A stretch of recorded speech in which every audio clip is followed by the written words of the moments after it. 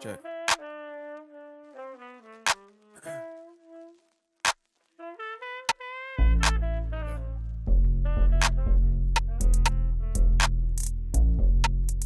I just wanna thank me for doing it when nobody made me. For doing it while nobody pays me. They can call it crazy, but they don't see it daily. And I've been finding ways, don't give a damn if you hating. And secretly waiting to see what I do next. It feels like a huge flex. I reach in my two chest, never feel too pressed or depressed. Please miss me with any and non negative energy. Ooh. What's going on? Welcome to another episode of, of Opinionated Off Topic. Today I'm with co-owner, co-host Carlos Mojica of Opinionated Media. I'm Cameron Theory, co-owner, co-host of Opinionated Media, and this is Opinionated Off Topic. Today we're introducing Steve, aka Aye Yo Roo, Keep It a Buck, Steve Shiesty with the Shiesty Nike mask he's Oh been wearing. boy. Oh boy, that's the alias. You know, this is a Damn. very, very important uh, part of opinionated media. Um, if you guys don't know, me and Steve have been doing some stuff throughout the year, which I'm sure you guys have seen in Keep It a Buck, which we'll talk about here in a little bit. But Steve's, you know, always been around, supporting us, uh, been part of the journey, and then you know, incorporate incorporating him into opinionated media has been a good thing. It's been a great thing for all of us, and super talented uh, individual, and we're excited to dive into his story and you know, kind of reflect on the year and chop it up. So, without further ado, let Carlos do his uh, honors and Thank jump you. right into My it. turn, finally. Shut up. um, thank you. Taking time out your day, coming on the show I, means a lot. I've- and I say it every episode, but it honestly does mean a lot. I mean, without, I mean, not without y'all, this wouldn't go, but it wouldn't just be as sentimental and exciting as it Yeah. as it is. But know you live kind of far, so hey, thanks for. I've know. I've been watching y'all since y'all were in the basement, bro. I'll tell you, one of my favorite videos, it's on my playlist on YouTube, is uh is the Dat Piff rankings, right? Of you three. That was at that was at, Man, that was yeah. at uh, my parents' house. Yeah, That's yeah. I'll OG. never let that go. I'll Hey, never let that go. Somebody's got to say Yeah, I something. never let Somebody's that go. got to say something. That, to get the that was dis- that was disrespectful. Somebody's that gotta, was you're somebody's got to say something to get the You're comments talking going. about an album that arguably had like five of that years slash generations hits. oh, for sure. you, you, at least five on album, one of the highest selling albums What did they of all rank it? time. What number one? They That's why you were, one? yeah, yeah, yeah. Because you were so you were like, bro, what? no, no way. I was just I was hurt, but um, but aside from that, you know, I've been watching you guys for a minute, bro. Obviously, I I have a lot of uh, um, I have a lot of love and respect for y'all because y'all were one of the first reasons like I actually started watching and listening to podcasts. Um, Okay. I remember always seeing them around. Honestly, I remember seeing the app in the app store for a while. Like as a kid growing up, like when you had your first iPhones, like you saw the podcast app. Oh, the Apple Podcast. yeah, and I was yeah, like, purple I was like, bro, what is a, what's a podcast?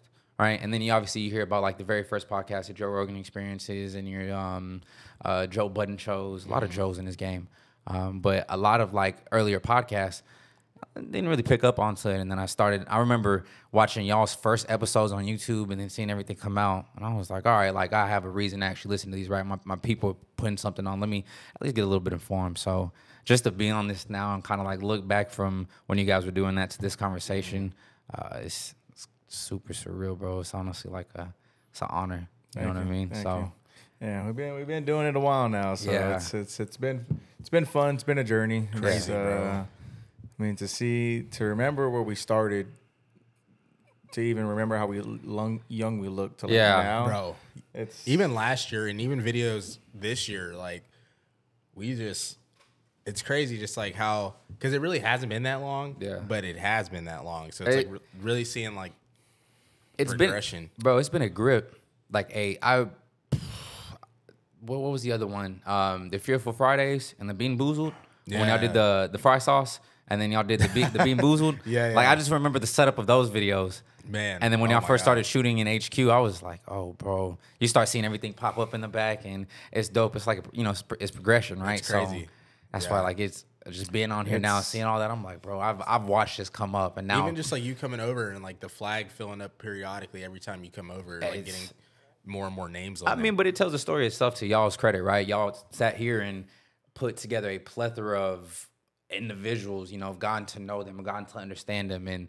I think the most important thing is that you put them first, right? You know, kind of ties into the slogan of what you guys do, bring creative dreams to life. But it's, I mean, it's it's pretty dope because each part of that contributes to what opinionated is, right? It's everybody's opinion. It's what they do. It's who they are. It's what they represent. So that's really what made me a fan of it. But like I said, I respect the hell out of both of y'all, and I have a lot of love uh, for the two of y'all as individuals, as people, and as uh, creatives. Because y'all are two like hardworking people. Y'all are two people that you know naturally embrace the grind. So just to be in this position, just the fact y'all asked me, uh, it means a lot to me because like I said, I I, I admire the hell out of y'all as as, as my friends um, as workers, just as all around people, bro. So like I said, this moment is like it's surreal because like as the day has gone on, it's just hit me a little by little. So know, we have this conversation, and I'm like, man, this is kind of crazy. So, Appreciate that. Yeah, what I for mean? sure. Shit, before it made me cry. yeah, tell, then we gotta get into you now. Tell us a little about yourself. You know, where, where, you, where you from, how, how you got to the position you are now. So I mean, you know, I was uh I was an Air Force brat, originally born in uh, Minot, North Dakota, in a little Air Force base. Fun You're fact. born in North Dakota. Isn't that where Wiz Khalifa's from? Yep, Yeah, exactly. yeah, Me and yeah, him were yeah. born in the same hospital. Okay. So, Yeah. um, yeah, same hospital on the same Air Force base. So, uh, I was born there, Air Force brat. Moved around a lot as a kid. Like Who was in the Air Force? my dad. Your dad? Yeah, my dad. He was MP. So, uh, we moved around a lot. Didn't really settle down. Like settled down in one spot for longer than a year until probably four or five. Right. I was in Kuwait overseas. Um, in the Middle East. I was in Vegas. I was in California. Um, we were everywhere. And then we finally got to Texas. And the first place I ever settled down, shout out to 254, was Killeen in Copperas Cove. So my dad and my mom used to stay in Killeen. My grandparents were over in Cove. And uh, we got to Pflugerville because my mom got a job over here. So then I moved over there off of uh, Killingsworth and Boulder Ridge, right down the street from Pflugerville Elementary. And uh, really been here ever since. Went to Hendrickson High School. Go Hawks. Um, no, you see that boy Samaje putting up three TDs.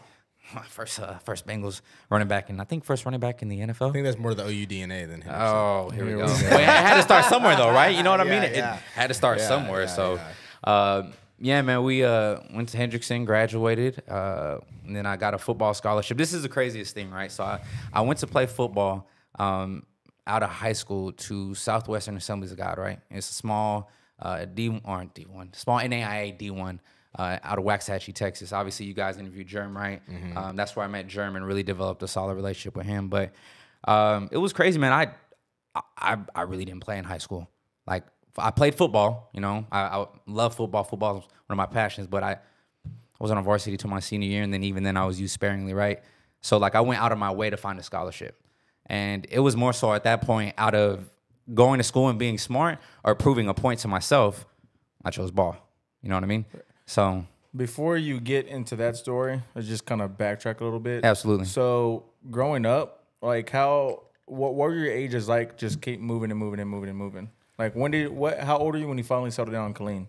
Probably about four or five, I want to say. Probably about four or five. Uh, I remember going to Maxdale Elementary over there off Willow Springs, and that's like I had a daycare over there, and then uh, Maxdale, and then in the first halfway through the first grade is when I came to Pflugerville. Do you do you remember like moving vividly like that? Like moving to Kuwait, moving to Vegas. I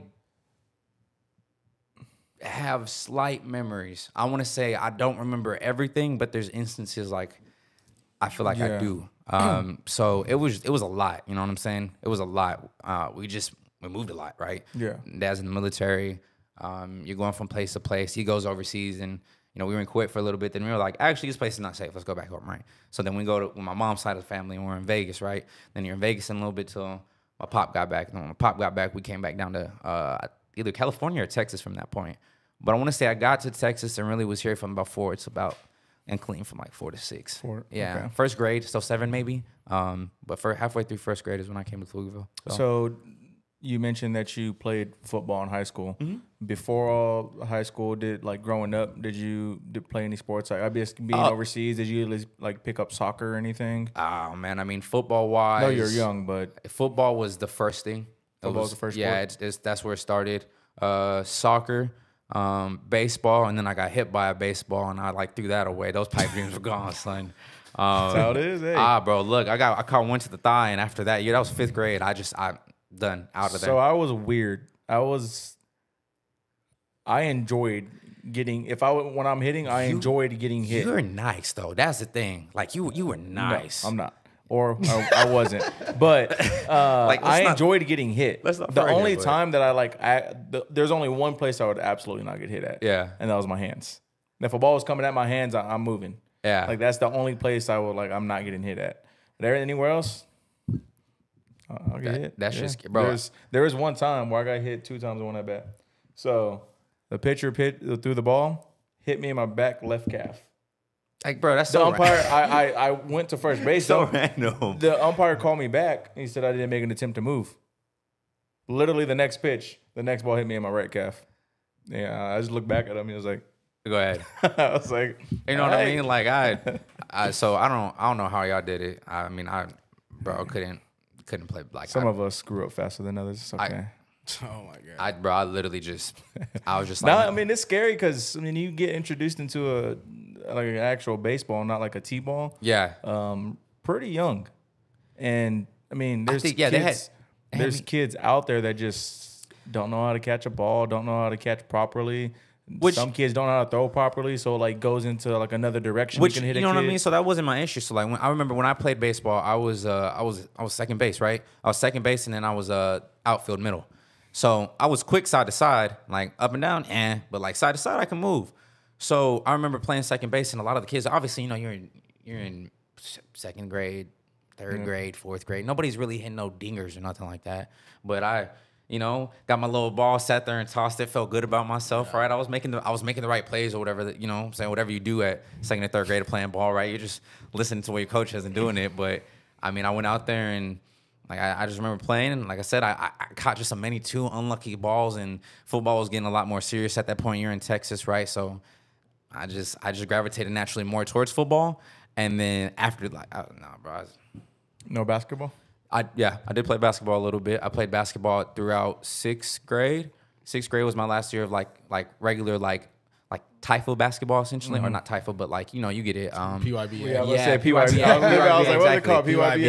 yeah, yeah. So you know, football had typhoid, Yeah. basketball PYBA. So I played, uh, I played basketball all throughout sixth grade. Right, got to seventh grade, uh, tried out for the basketball team, and my ass got cut. I wasn't even mad at it because I know I wasn't a hooper like that. Right? Damn, I that's just, crazy. How the hell did I make the teams and y'all did not? hey, bro. Honestly, I, I just- didn't try. I, I in- really, in, in high school. I didn't try. Well, you know, you well, just in middle school, did you? yeah, I played no, at, but I, I didn't go to a regular middle school. I went oh, Yeah, to charter. charter.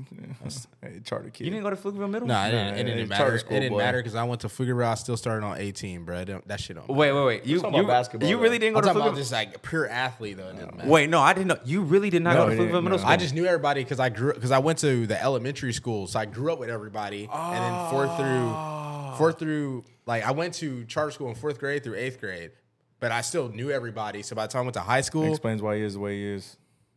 th- no, it doesn't. It explains shit. Yo, bro, I did not know that. hey, hey, hey, you know what I'm saying? Only a few athletes signed. I was one of them. Wow. talk to me nice. Wow. No, look, I, I get it. I get it, right? Yeah, so yeah, I played you know what I'm saying? uh, You know nice, right? To my point. He's No, no, nice. no, no, no. So I, I played basketball sixth grade, just just doing it really because my friends were. I loved basketball, but I didn't love it crazy enough. And I also just like I said, the drive was mainly for football and everything I did. So I just I just I don't understand because uh, Alex got cut too. Alex eh, Yeah, but you Yeah. know he probably wasn't hooping like he is now. Yeah. But like I like I wasn't like I don't know. I, like you I'm were not just that very nice. good. Weren't you a quarterback in Nah, middle but school? you got, but you you were definitely a lot more athletic when we were younger. I'm about to say, weren't you- you were you were a pretty- quar- hold on, hold on, hold on. you were a hold on, hold on, quarterback. hold on. Backtrack that. What you mean when we were younger? You are as athletic. Wait, wait. Uh, uh, so I'm not now. I don't know. I don't see you do That's anything. tough. You hear this, man? That- I'm just saying. I don't this, know. man? I don't know. That is tough. hey, from what I've seen, I mean, this man used to be one hand catches. I mean, Like I He still was can't do a that. quarterback, bro. Like, I, I I can't do vividly remember that. Like I still can't. Hey, like I- you say, it's God. it's Hey, God- it is, but I'm hand just- that- I mean, it just doesn't go away. You know? yeah, yeah. But Come I on, mean, bro. um, what? Uh, We got to get him Yo, on the sacrifice training field. That's all I'm saying. no, we got some stuff coming up Yeah, we soon got there.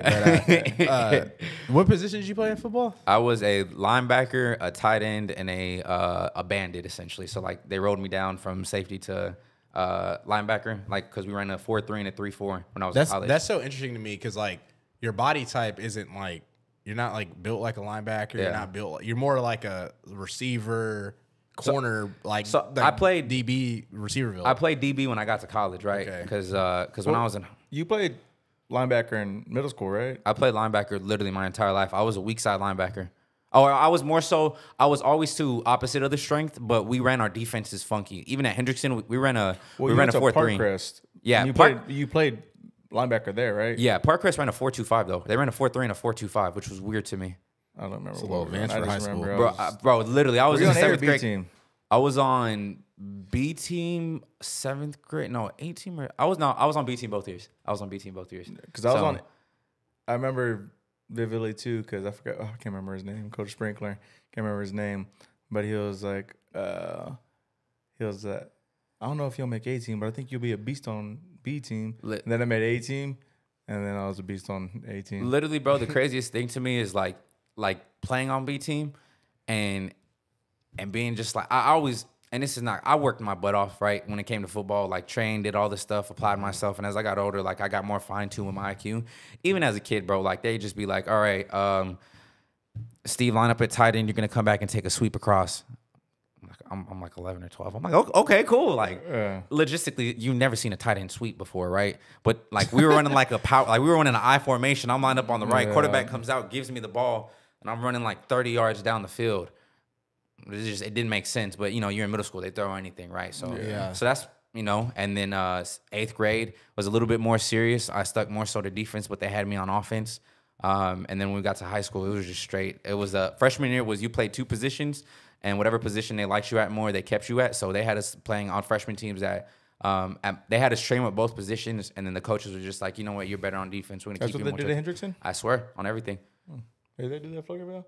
Uh, nor- normally made they you have a do. secondary they, position. you de- they definitely did. You would have like an offense day and then a defense Yep. day when you were younger. But then as you get to varsity and progress, then you're not gonna have to do that as much. So. Because at Stony Point, I was straight just Defense or offense? What were you quarterback? I, so I had two. yeah, Um, I was the backup quarterback for a team, yeah, but I was also a starting wide receiver. yeah. Um, and then when I came to Pflugerville, it wasn't like that. I was just One I or went for quarterback, and then uh, the offense. I just couldn't run the offense because Yeah. I was so used to shotgun, and they're in the Y'all wing did. T, I forgot y'all did at the time. and yeah. and they and they're in wing T, and then I I just I couldn't get the playbook down like that quick. Yeah. So I asked if I could. Sw- I was like, can I just be wide receiver? And then they're like, well, I mean, you can try it out, and then. Um, I switched to wide receiver. I never played like in high school. I never played defense. Yeah. And which was funny because in middle school, all I played was defense. yeah, Yeah. At, at Parkcrest, I was on defense, and then no, well, I was on defense and offense at Parkcrest, and then I about to say they had us in multiple And positions at Parkcrest, and then at Hopewell, I was straight defense. I was a linebacker, Yeah, and then I went to Stony Point. Then I went to offense, and then when I came to Pflugerville, I was I was still on offense. yeah. So that was, that was it for me. I was, I mean, more or less, I was. Uh, the last time I played offense was probably my sophomore year of high school, but I remember my freshman year back when we were still, I think, in Lake Travis, in the district with like Lake Travis and Hutto and uh, Elgin and everybody else. Um, like that's right before six A became a thing. Um, we played Lake Travis and we had traveled over there. Like I think it was like my I had three touchdowns that year, right? But my first touchdown I had on offense came against Lake Travis. I ran a five yard out, and I don't know what I did. I really don't. I don't know if I like fourteen year old, fifteen year old Rue was really just that crazy, or I, it was just like a, the stroke of greatest luck ever. But when I hit my out, I remember in my head I was thinking I was like, all right, I gotta hit this man like Megatron, come with my cut, and then bust out. And then I and I remember mid play, I was thinking like, wait a minute, what am I doing? Like I lost, I, I I completely forgot what the play was. So I just ran up and I got right here, and the guy came to grab me, like he came to like jam me, and I pushed off of him and turned inside. And when I turned inside, he caught my foot and I was falling, but the quarterback had already thrown me the ball. So I just remember I was like, well, just put your hands up and catch it. So I put my hands up and catch it, and I fall down. I'm in the end zone, and I was like, oh, oh, ah, you know, I was I was just hype. I, it, bro, it was possibly like it, it was like I'm. I felt like I made a mockery of myself, but it just, you know, what I'm saying It I probably looked stupid. I probably did, but I came down with the ball. You know what I mean? That's all that matters. I- That's all that matters. exactly. It was in the end zone.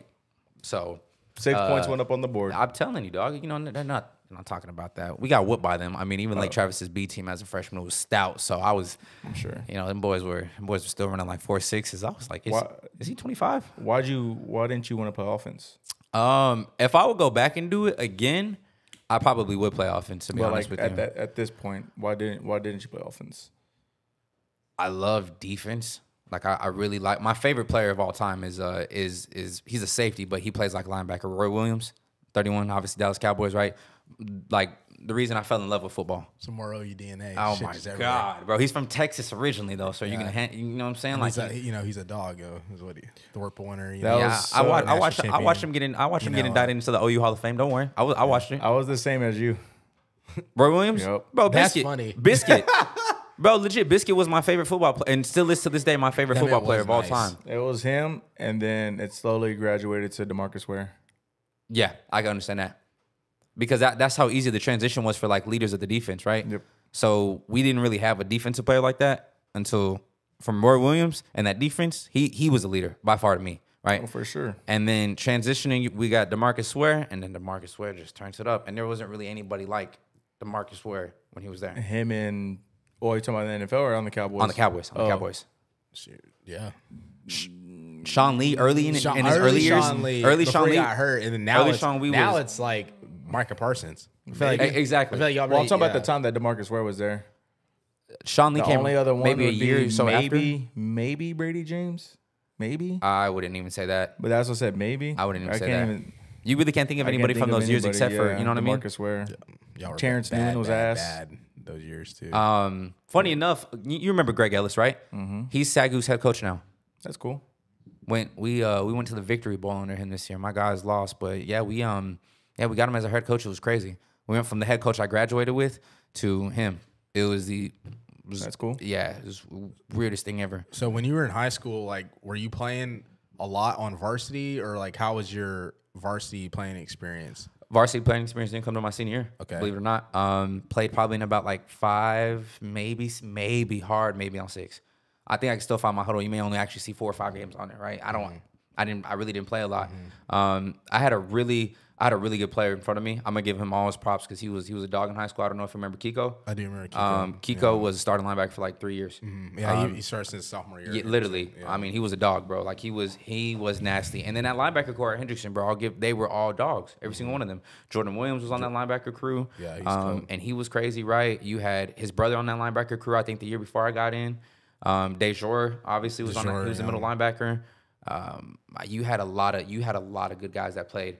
So I mean, those guys were. That I mean, I, I learned a lot from them. And that's part of the reason why I got to play at the next level was because of being behind those guys. But I just I had a lot of talent in front of me um, and it you know it sucked but i just worked and i kind of did what i, I could do i, I could have taken a lot more stuff seriously too at that time um, sure. but you know you don't hi- hindsight's obviously 2020 so uh, like i said i, I was i was on uh, freshman b jv freshman b jv b i think jva and b junior year they moved me up at the back end of my junior year to a um, and then senior year obviously varsity um, and you know, obviously you play the scrimmages, right? Uh, you play the first few games, and obviously you get into the thick of the season, right? They start keeping their players how they keeping their players. So I just really had special teams reps. Um, just kind of like I said, I, I played my role and I embraced it, and I just stepped up whenever I was called. But I definitely could have done more to to up the ante for for the most part. But yeah, so So, if you knew you had all this talent in front of you, like what made you not want to move positions? I don't know. Like it's it's funny because I remember um, whenever JV would come up, you know, obviously like being on varsity, right? You practice against the JV guys, right? So whenever I was going up against offense coming up, it was all it, it was you know you do your one on ones and you go through sevens and then you run through like script obviously and all that fun stuff and uh, and it, it sucked being on the defensive side of it because you can't really hit nobody right um, receivers they blow down on contact obviously you have to touch a quarterback have to let them play through the whistle running scout cards. yeah, line like linemen, interior, like interior linemen, and the front seven really are the ones that are getting the look, right? And then if you're coming downhill, right, you already know who you're gonna run into, Samaje. So you know how fun that shit was. So you know you do interior and you had to come down and lay the wood, and you can't go long Samaje obviously because you know uh, you're not you're not gonna be that guy, yeah. right? You're not gonna be the guy that there's there's no way. So just literally it was reps and reps and reps. And then when I got to about my junior year, um, I want to say I was practicing on both sides. I, I remember doing like offensive reps against our defense, like hopping in at running back and running against our own defense, like varsity wise, because some of the younger running backs at the time were like too scared to get in there and do t- or do so. You know, they're like, oh, I don't want to go in there and get hit. They're just using me as a practice dummy. What the, f-? you know what I mean? Yeah. And I was like, well, go get better. You know, you out here, you might as well, right? You know, you want to get some reps against like You want to do, you want to do something instead of just standing at practice, Bro, legit. And if, if you want to be there one day, you have to. I, I'm a firm believer of practice like you play, right? So if you want to go, if you want to go, if you want to be the best, you got to go against the best. And if this is where you're gonna go against the best, is your own varsity and practice on some actual like good on good, then you take the reps and you run with it. So I remember like my junior and senior year, like I started when I was with the defense my senior year and I wasn't in, and I would see the JV cats like we're getting scared to like play a tight end and go block our linebacker, right? Or hop in as receiver and block a DB, or um, be the tight end or like running back, whatever. I'd be like, hey, come, come on. You know, me and a, I mean, we had a we had a bunch of guys that did that, right? We just we didn't care, right? We wanted to get our guys better, and so that's kind of more or less like I don't I don't know why I didn't stick to offense, and I don't know why I didn't approach it more, but I I don't know, man. It just it, like I said, I I stepped in where I was needed. I felt like and just did what I was supposed to do. I was more so a student of the game, so that's that's just where that came from. I tried to learn everything I could. Yeah, happens for a reason. Landed you where it landed you. Yeah. Exactly. And then I guess so going through that struggle, and we all know how hard the recruiting process is, especially. I mean, granted at Henderson it was a lot better for y'all. Like y'all's coach actually cared. I mean, look at the amount of athletes that got put out and went D one out of the classes that were there, especially in the prime Henderson, like 14, 15, those Yeah. two classes. And even after that. Um, but for you, like not having as much film as you would like, um, trying to get recruited, like when did you know you wanted to go to the next level? And then what were your, what were the steps that it took you to get there? Like did you go to camps or I did go to camps. Um, I loved football at the time, and I loved it a lot. And it was something I wasn't ready to walk away from. Um, and I, I was just wholeheartedly set on if I can go play football, I want to go play football. Right? I don't know what that looks like. You know, as you as you start really looking into the recruitment process and you start really um, looking at schools, oh, bro, you're emailing like you're emailing and you're looking at schools. Like I, I was like, oh, sh- there's NAIA schools in North Dakota. No, there's NAIA schools in Kansas. There's a D three over here in uh, Colorado. There's a there's a D two over there in um, Iowa. Right? There's just all there's a lot of schools. And you're like, all right, well, how many coaches do I have to get in contact with? So you just start like shooting out from the recruiting coordinators. Um, obviously, you know, if you, you don't get a lot of reps, or maybe it's even more so like right being overlooked. Right, you're a guy that got consistent reps Yeah. um, as a varsity starter, and I feel like even partially you were overlooked. Right, oh, for sure? Yeah. so, and I play with a lot of guys kind of in that same manner, guys who should have got their looks but were overlooked. So, um, at that point, you're kind of just tossing, right? You're tossing. You know, you want to play. You know, you can't play. You know, you at least want to try. All you need is an opportunity. So I just I shot everything out, and it, you know, it it sucked because there were some people who actually did show me love and reach back out. Like I I remember going to um, a, a UNT camp at Cedar Ridge, um, and I did like I remember the coach talking to me after, and I felt like really good about it because he was like, "Yeah, man, you- I haven't heard of you. Like, where are you from? Like, you know, who do you play for? What high school are you at? Yeah, yeah."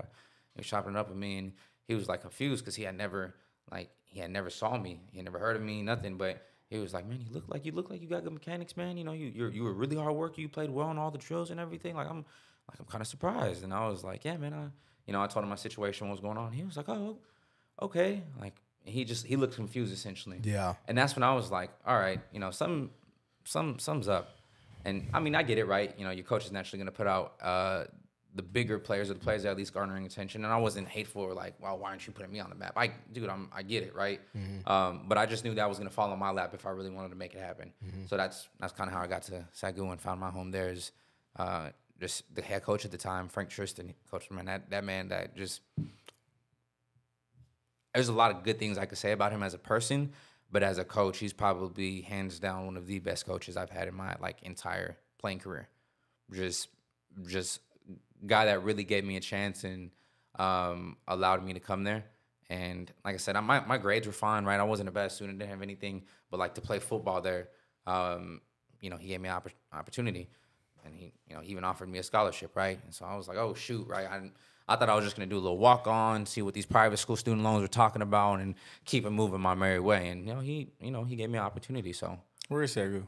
Sagu is in Waxahachie, Texas. So That's that is up about north, 20 right, by Oklahoma? Yeah, so about It's like by Dallas. 20 more. minutes Yeah. past by- Hillsboro, about 30 minutes south of Dallas. Yeah. So you have Waxahachie, then you have Red Oak, and then you have uh, Lancaster, and then you have DeSoto. After DeSoto is when you hit Dallas. Gotcha. Well, Sou- South Oak Cliff going into Dallas. So yeah. Small. yeah, Yeah. One high school kind of. Uh, they have a private high school there, life, uh, like Life School Waxahachie, but like one public school. Um, but they had um, freaking uh, they they're a couple of the players. Uh, you know, one of them, Reagor, Jalen Reagor. He was in high school when I went over there. Um, I want to say for two years. I want to say, um, but Reagor was in high school at the time, playing for them. Uh, I remember like you know again it's, it's a big football it's a big Texas football town too like they take pride in Waxahachie Jon Kitna you remember Kitna he was a co- he was a coach of them at the time legit like I just think about son. Son- the, son- the report that came out today. About his son. Son. You didn't see about his You son? see it? Jon Kitna our quarterback his son Yeah. Yeah, his son, Well, his son goes well, to Florida. Yeah, well, went to Florida. Went to we'll show you after the podcast. We'll, we'll show you after that. Yeah, you talking about Jordan or No, 'cause he had a- Jalen. oh his younger one yeah. okay because I watched his older son play Yeah, Jalen. Oh boy. Okay, but yes, point being is like he, you know, so he was the coach at the time, which was crazy to me because I was like, oh, sh- he used to be our quarterback. You know, came to our school and spoke. I even caught a flick with him, which was, you know, for me, I'm, you know, Cowboys fanboy too, so I'm over here like, oh, sh- um, Old, phew, old uh, when he played with us. Yeah, bro. Old. So Boy, rocking though. hey. You you got to do what you got to do, right? Facts. So look, man, I uh, you know, so it was it was small, man, small football town, a lot of good places to eat. I'll tell you that. We put my boy Cam on a, on that hibachi out there, man. That place is good. All right, so Yeah. it's stuff like that, right? That's what made it was a, it was a wholesome town, You man. went out there? Yeah, it was when we went to when we went to see Mike. I was on the way back. Yeah, we Uh, stopped okay, in one okay, okay, Dallas. okay, We okay. stopped in Yeah. Waxahachie. I was like, I'm gonna, I'm gonna show you one of the little spots because you know it's right there off 35. It's, Yeah. it's small. It's like What kind of food? It was uh hi- hi- hibachi essentially. Oh, yeah, Yeah, you can't go wrong with hibachi. um, and it, it, thing But is, it was know, like it was like it was like fast food hibachi. But Yeah. it was, but it was like still freshly made. still- Still, yeah. everything was amazing. Yeah, like it was really That's cool. it's- it's, you know, what I'm saying? So, go to Sagu, play football, go there four years, Yeah. graduate, yada yada yada. Beginning the podcast, you said, um, "I see y'all doing this, and it made me realize that I can do this." Mhm. So, from where in that Sagu, post Sagu, pre Sagu, if that was the case, like where where where did you find like content creation is something you wanted to do or like to do? So I'm gonna tell y'all something. Right. Content creation, like the bigger picture of it, really hit me as a kid through music. Because I used to rap. Mhm. There's videos literally me on YouTube from my freshman year of high school performing at Hendrickson's Talent Show. I had people screaming my god dang name. On another note, um, no man, um, uh, music. Music is really where it started as a kid, right? So I could really date it back to Sagu because my dad made music. He was a rapper, um, and then he put me on so much music. We were listening to classical, we were listening to R and B, we were listening to blues, we were listening to soul. I was listening to funk. My mom was listening to alternative. We were listening to rock. So music was always a big thing for me. So I used to write songs as a kid, right?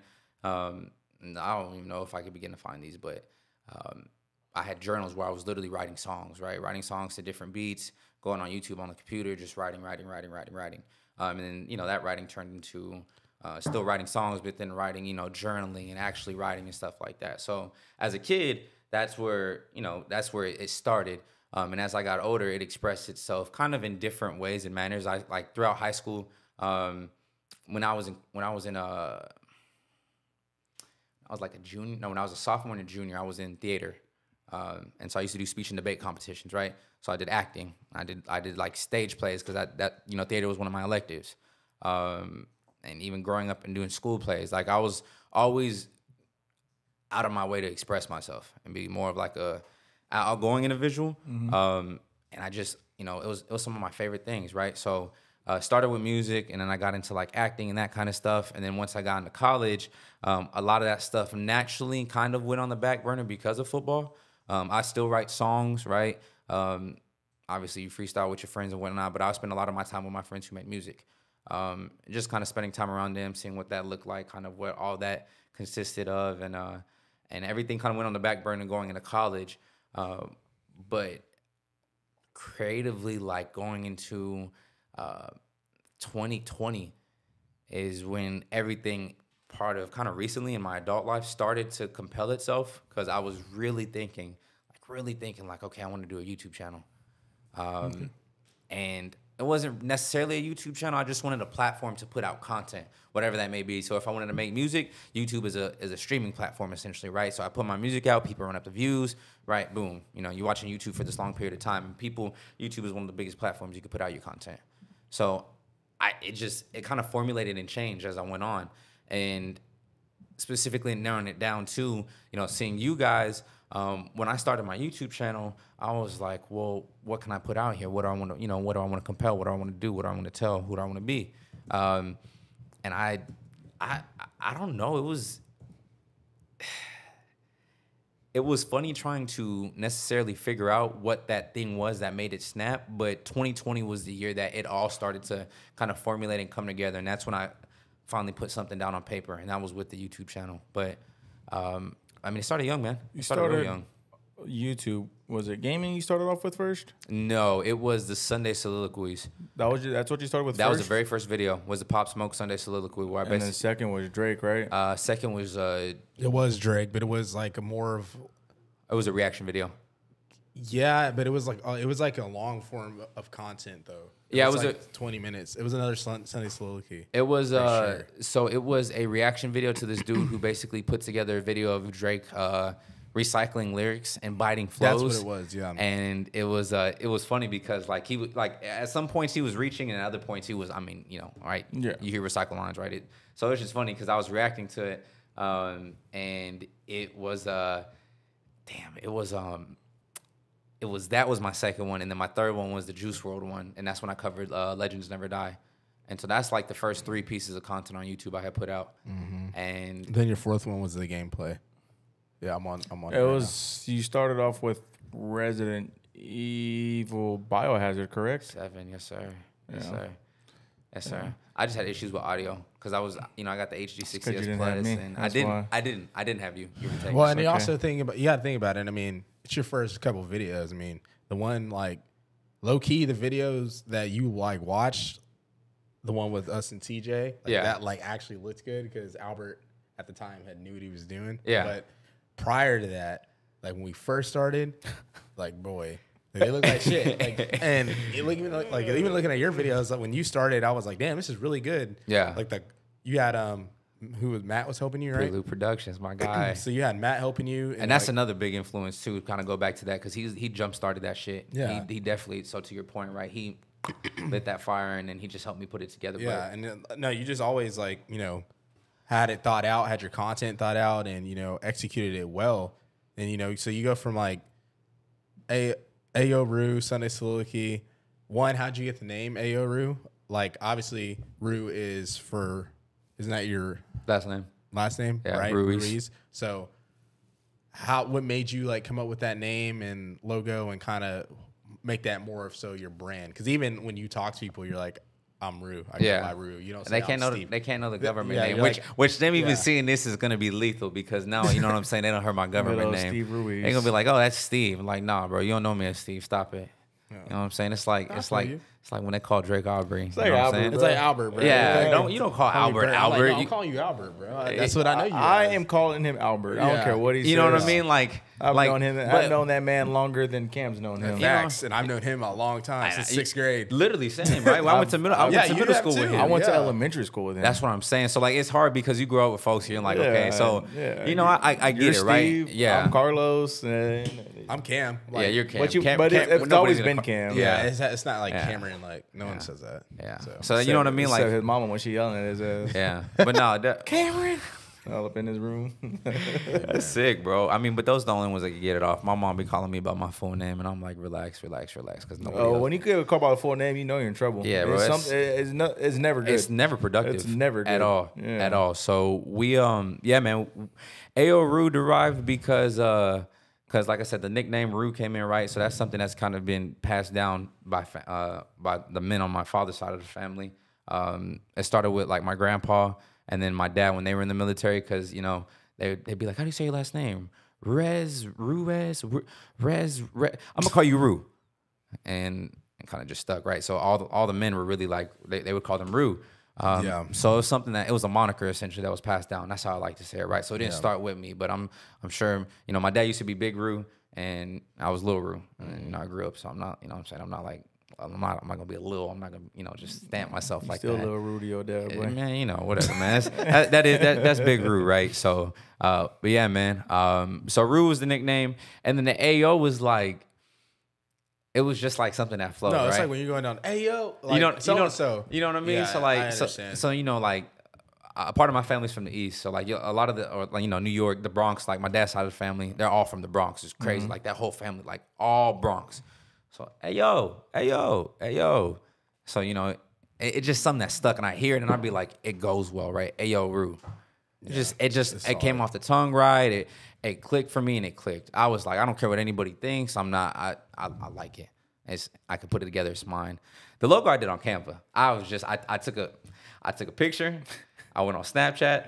I cropped out my face. I put it on Canva. I blacked out the background. It looked good. It cleaned it up. And then I was like, I need a color. I like teal. Go Parkcrest. All right, let's move. so But it's like early days, you know. It's like you you're you know putting everything together. you're trying to find your identity, Yeah. right?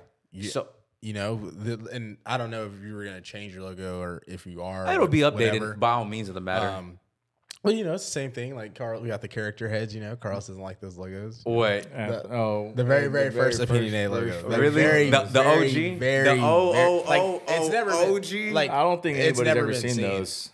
What's the first one? Because y'all had one It before never, y'all had. like, it never, No, it's never been seen. This is the only. like this is I the mean, only one that's been released to the public. I thought y'all had a different one aside from this. do you At the very beginning. no, it's always been It's OP. always been I thought the. P was lower, the font was different on it. Has it always been there, that? there was. Oh, well, you might have seen the thumb like have like a black fingernail. Yes. But other than that, I don't Yes. know because I don't think we, re- we released that one because Your earliest content, I swear. no, had- I didn't have the black thumbnail because when he got it, I remember he said, That's right. Uh, hey, don't we like it? Can you just take the thumbnail off? We never like got like the physical thing of that. I swear I saw a different logo at at the very like er, like the earliest stages of y'all's videos. that black and red is that's that's been It's the, been- that's That- been the yeah. yep. That's it. Yeah. And then our hoodie logo, our hoodie, Yeah. that we got that early, but we never like all of our other logos. We never really because we have like other logos, Yeah. Yeah. that again nobody else has seen, Yeah. but we never really used them. So Absolutely. So we just we thought that logo would be good on a hoodie, so that's when we used it on a hoodie. basically, That's like, perfect we- for a hoodie. Basically, like we got That boy's on y'all all back when y'all did that. And you know, it's crazy to look at stuff full circle because we got all those logos prior, and then it's like now we have like all these logos that we were like we never thought we would use them ever. Yeah. But now it's like oh, like like he said, slapping on a hoodie or like the OO, like Which know? is crazy because like that's the thing I think y'all branding yourselves are right. So for me, I wasn't settled with my logo. I like it. I think it, it signifies like the early stages, but at some point sooner or later, I want it to change, right? I want something to be different. Um, but um, it's not something that's I guess too big of a concern, which is why I haven't been so forthcoming in kind of changing it because I, I have I've had the opportunity to, but once like I said, once I started joining you guys and I started working with Cam on Keep It a Buck and I started like transitioning more to y'all, my my focus shifted more so away from like me and more so kind of just establishing like everything we were doing with opinionated, right? So I I never like I, I that's why I really haven't like taken too much time to be like, oh, I need to update my logo or ah, I need to do I plan on it? Absolutely. I think it'll help, but I don't it's it's something that hasn't really been something that's pressing. You know what I mean? Mm-hmm. Because it it's just that's my representation. You know what I mean? Not my logo is kind of some people know me by, but I feel like the name, oh Roo, that's a Roo, he's opinionated, right? You know, that's that's kind of my mm-hmm. deal. So I just understandable. Logos are kind of weird for me because You make the logo. you make the logo, but also at the same time, the logo has to attract yeah. the audience of Yes, whatever it is. That's what I'm saying. You know what I mean? So it's tough because like, you know, you like look at look at right now, right? Lyrical Lemonade, one of the most notable logos, and you know it's Lyrical Lemonade, right? It's it's it's the it's the box. Mm-hmm. Lyrical Lemonade, right? The swoosh, God bless. That's one of the standardized branding, right? That we that we've seen, that we know. You know, look at what it does, right? But it, those are things that carry. They carry over really well. They carry over really easily. You can do a lot with that, right? You can you can you can make it look different. You can add flavor to it. It's it's simple, and convenient, but yet you can do so much with it because it's so versatile. So that was like the dope thing, honestly, when we did Keep It a Buck and we changed the OP logo to reflect the colors. I was like, yeah, that's I get jiggy with that because it's versatile. It's simple, but people know what it is. So uh, you know, it's one of the best things about branding is you have to be able to be, um, you know, you have to be able to be kind of something that adheres personally to you and what you represent and kind of what you want to brand, but something that people can also apply themselves to. That's kind of the point of branding, right? Um, so you know, think about it like Larry with the oranges, right? Facts. You know what I mean? You can think about it like Drake with the owl. Yeah. Those are all notable things because of again logos that brands that they established the brand, right? So, um, yeah, I don't know. I- Like I said, we'll, we'll get something in the works, but like I said, that's that's the reason is that's that's more so my logo. That's you know what I mean. Personal stuff can it'll it'll, it'll come in due time, right? But kind of just like a FaZe or OpTic thing, right? Yeah. I feel like person like Keep It a Buck is still kind of a personal personal thing though. Like sure it's under like OP, but it's still something that you like to do and wanted to do and enjoy doing. I think y'all gave me an outlet to do it, but I wouldn't have been able to do it without y'all. That's why I'm not gonna take like it's it's it's something I've put love and something that I've developed, but it's not something that I purely did 100% on my own and it just all came from me. No, there, there's no way. There's a lot of conversations that went into that from y'all. There's a lot of love. There's a lot of experience. There's a lot of things I learned from everybody around me, so I could do something like that. You know what I mean? So here comes the hard question. Okay. So I'm gonna say yes, you could have done it without us. Mm-hmm. But my thing is, since 2020, you've Yeah. made content. Mhm. But since 2020, you've made content stop, made content stop, made Yeah. content stop, made content change content, made content change content, made content break, break, break, break, break content. Yeah. What, like, why, like, what's stopping you from just uh, doing it consistently? Because every piece of content you put out, Yeah. even from the first Sunday soliloquies, everything's been great. Yeah. Like there is no need for even if you just wanted to do those, there's no need to change those. If you wanted to do the gameplay, just fixed audio, there's no need to change those. You brought back the Sunday soliloquy, and they were even better than the first ones, and there's no need to change it. Yeah. So like what in Steve's mind, what was what was going on to like I have I gotta I, I wanna do I can't do this. I wanna do something else. I've always been a chronic overthinker. Number one, um, I'm a perfectionist, and it hurts a lot more than it helps. So, uh, and that's kind of like the ADHD part of me is everything has to. I have to have control of it, right? Um, and when I mean control of it, I don't mean like I have to control every narrative, but I have to make sure that what I put out is authentic. Number one, it's complete. Number two, and it's a reflection of what I want it to be. Number three. Um, so for that to be complete when it comes to content creation, even when it went back to writing for me as a kid. There was like I, I would start, I'd get into a song, I'd have everything plotted out. I think I finish it, I'd make some adjustments, and I I'd never do like some stuff I started and finished, some stuff I started and then put down, some things I you know you're a kid, so your attention span is short or whatever like that, right? But for me, it kind of progressed because I'd always start something and I would finish it in some aspects and I wouldn't finish it in others, right? So once I grew out of that habit and I started being more consistent, when it came to content creation and the lens I looked at it in is like anything you love, right?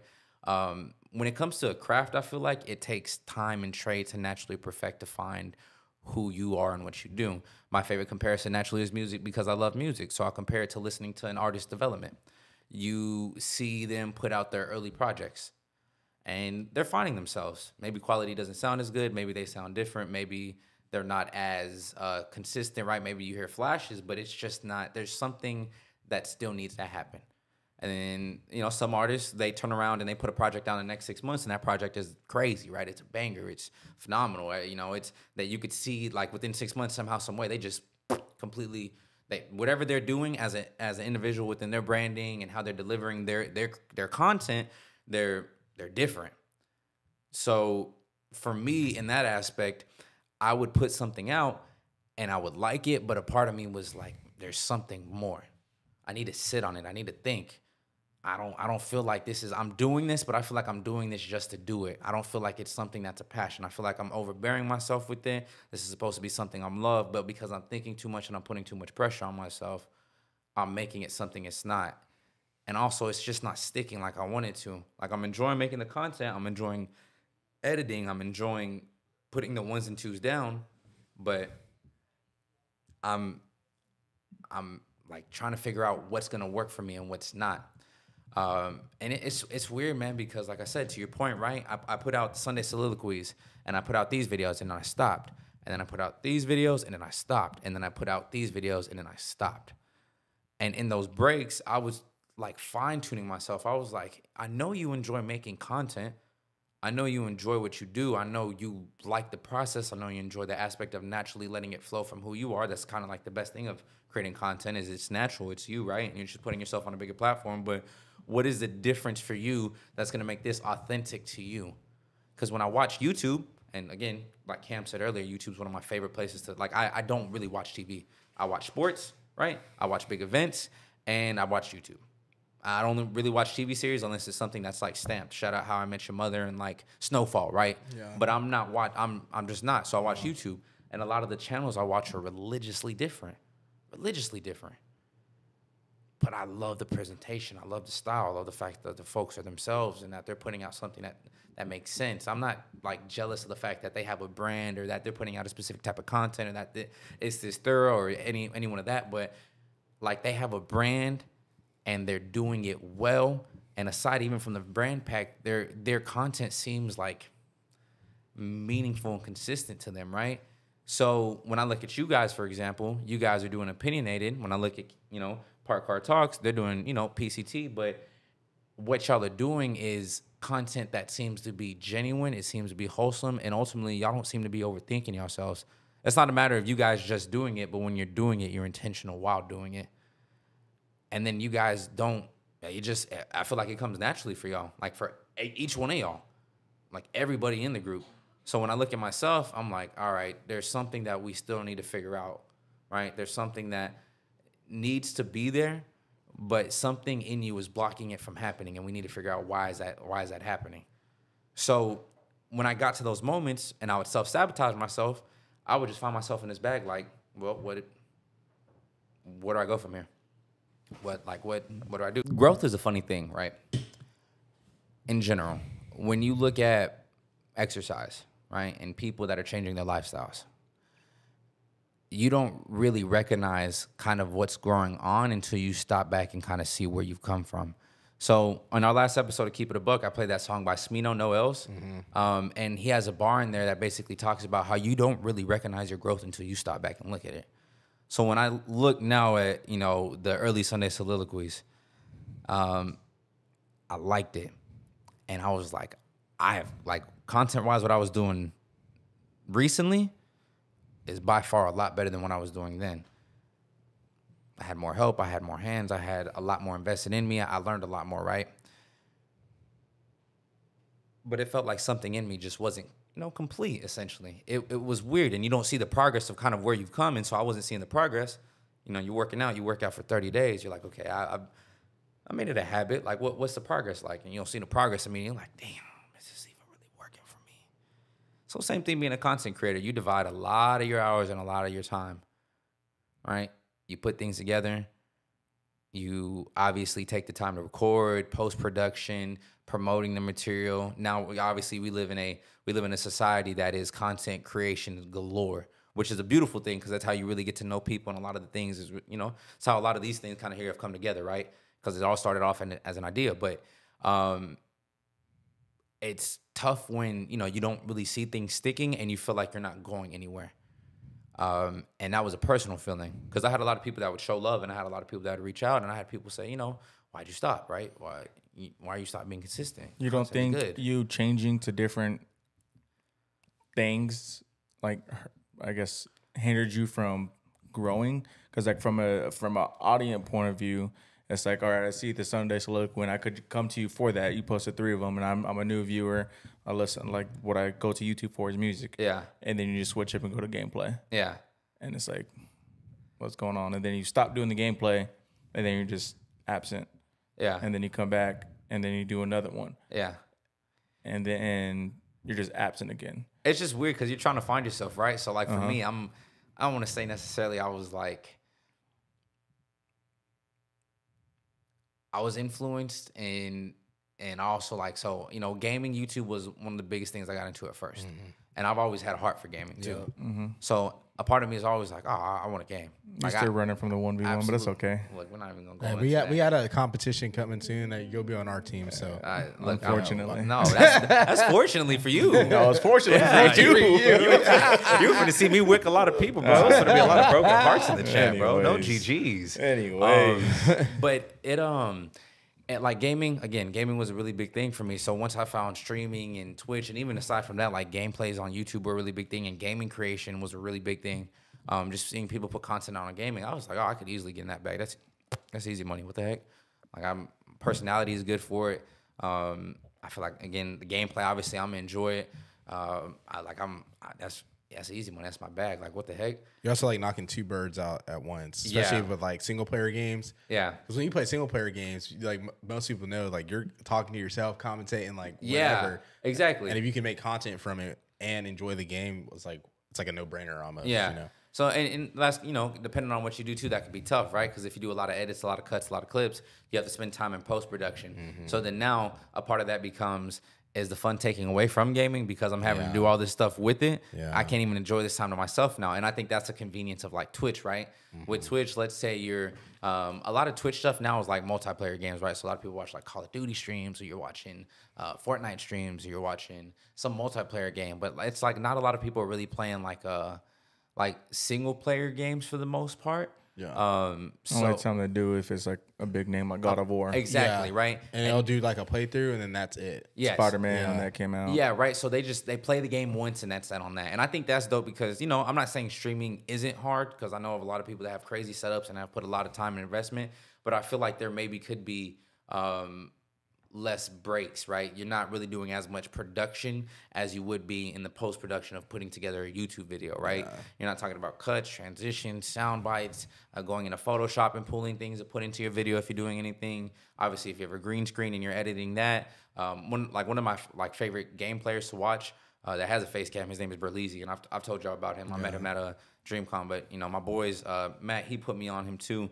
Uh, Berleezy, like he has a really good editing team, and if you look at his videos, he you know he runs a face cam. He'll do the introduction. He'll pop up his green screen, and then he gets into the game. So he has the game, and then he has his face in the corner.